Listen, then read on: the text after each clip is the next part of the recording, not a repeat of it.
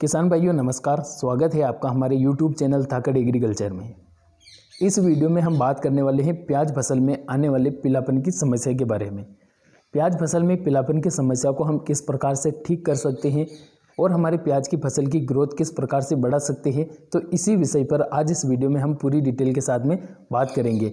और कुछ ऐसे उपाय आपको बताने वाले हैं जिनके द्वारा आप अपने प्याज में आने वाले पीलापन को ठीक कर सकते हैं। इसके साथ साथ अब आपके प्याज की फ़सल की ग्रोथ भी आप बढ़िया बना सकते हैं। किसान भाइयों, क्या होता है कि बहुत सारी जगह पर ऐसे जो है केस सामने आते हैं कि पीलापन की समस्या को बहुत सारे किसान भाई नज़रअंदाज कर देते हैं और पीलापन की समस्या अगर उनके खेत में आ रही है तो वो ये सोचते हैं कि इतना सा पीलापन है इसे कुछ नहीं होगा। परंतु पीलापन की समस्या जो शुरुआत में थोड़ी बहुत मात्रा में आती है, वो आगे चलकर जलेबी रोग जैसे खतरनाक रोगों को जन्म देती है। तो अगर हमें अपनी प्याज फ़सल को जलेबी रोग जैसे खतरनाक रोगों से बचाना है तो शुरुआत में हमें पीलापन पर कंट्रोल करना पड़ेगा।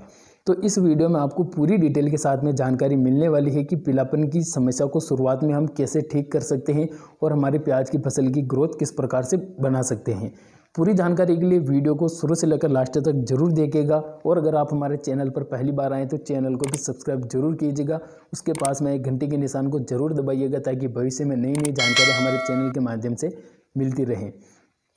बात करते हैं प्याज में पीलापन के बारे में। तो देखिए किसान भाइयों, पीलापन आने के कई कारण होते हैं, जिनमें सबसे प्रमुख आता है थ्रिप्स और फंगस।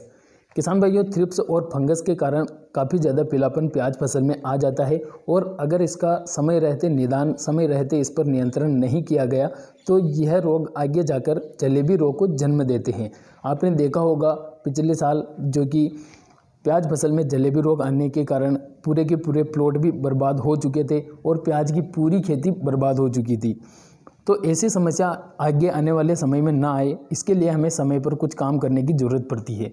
तो अब बात करते हैं कि इस समस्या को हम किस प्रकार से दूर कर सकते हैं। तो देखिए किसान भाइयों, यह जो समस्या है शुरुआत में धीरे धीरे आती है। बहुत ही कम मात्रा में यह हमारे खेत में आती है और धीरे धीरे यह अपना जो है घर अपने खेत में बना लेती है और धीरे धीरे फैलने लगती है।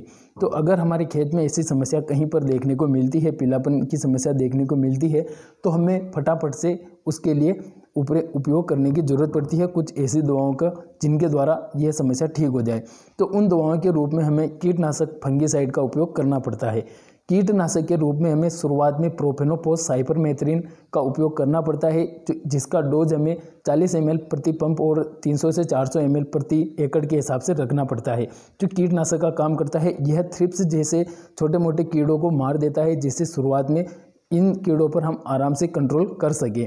इसके अलावा शुरुआती फंगस को ख़त्म करने के लिए हमें जो है कार्बेंडाजिम मेनकोजेब वाला टेक्निकल लेना चाहिए। इसके रूप में हमें यूपीएल कंपनी के सांप का उपयोग करना चाहिए। यह जो टेक्निकल है ये किसान भाइयों, हल्के टेक्निकल है, जो शुरुआत में आने वाले कम समय में कम मात्रा में जो पिलापन होता है, उस पिलापन को ठीक करने के लिए आते हैं। अब यह तो हुई इन कीड़ों और फंगस को कंट्रोल करने के लिए। अब प्याज की ग्रोथ को बढ़ाने के लिए हमें इनके साथ में लेना चाहिए। एन पी के उन्नीस उन्नीस उन्नीस। एन पी के उन्नीस उन्नीस उन्नीस में नाइट्रोजन फास्फोरस पोटास तीनों की मात्रा पाई जाती है। जो प्याज में हरापन भी लाती है, प्याज की जड़ों को भी मज़बूत करता है और प्याज की जो कंद होता है, उस कंद को बड़ा बनने में मदद भी करता है।